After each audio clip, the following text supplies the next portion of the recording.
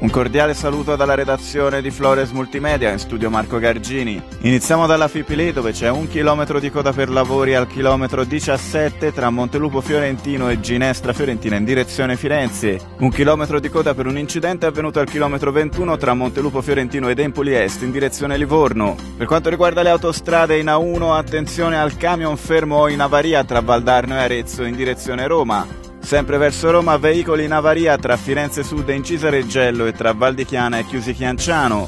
Guidare con prudenza per la presenza di personale sulla strada in direzione Bologna tra Fabro e Chiusi Chianciano e tra Calenzano Sesto Fiorentino e Barberino di Mugello.